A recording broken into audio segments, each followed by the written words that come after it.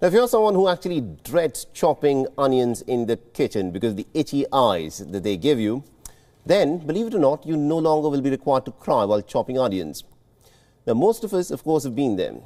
You know, the tears spree every time that we come anywhere near onions that are being chopped, no matter how we cut them, rings, strips, dices or slices. Onions are bound to make us cry.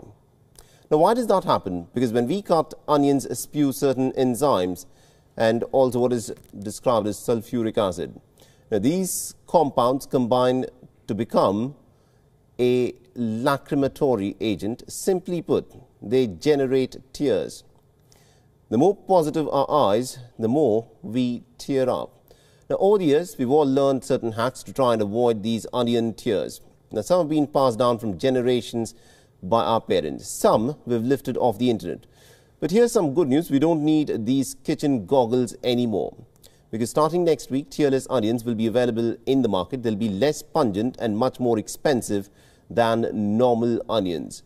A man named Rick Watson came up with these variety. He reportedly has been working on them since the 1980s. For now, though, these onions will be sold in the United Kingdom. They already are available in the United States and hopefully similar varieties could make their way to markets around the world pretty soon.